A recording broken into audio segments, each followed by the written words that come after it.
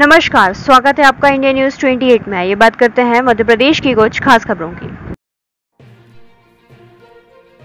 मध्य प्रदेश के उज्जैन के महिदपुर में कन्या भोज का आयोजन किया गया है। शीतला माता मंदिर रामलीला मैदान में नवरात्रि के पूर्ण होने के बाद कन्या भोज का कार्यक्रम किया गया, जिसमें रामलीला मैदान की पूरी टीम ने शीतला माता मंदिर में सहयोग किया है, जिसमें माँ शीतला माता मंदिर अध्यक्ष पिंटू मालवीय उपाध्यक्ष, निर्मल मालवीय की उपस्थिति में हुआ, अर्थात शीतला मंदिर में सभी बालिकाओं ने कन्याओं को भोजन प्रसादी खिलाई, जिसमें रामलीला मैदान पूरा सम्मिलित था।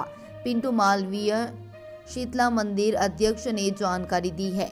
महितपुर से संवाददाता नरेंद्र परमार की रिपोर्ट। प्रतिवर्षानुसार हर साल शिक्षा माता नवयोग मंडल समिति द्वारा विशाल कन्याभोज होता है और इस वर्ष भी कोरोना की गाइडलाइन को देखते हुए विशाल कन्या कन्याभोज सफल हुआ है। कार्यक्रम चली गया विशाल कन्याभोज होता है। शिक्षा माता नवयोग मंडल समिति द्वारा ही होता है पूरा विशाल कन्या भोज सार्वजनिक।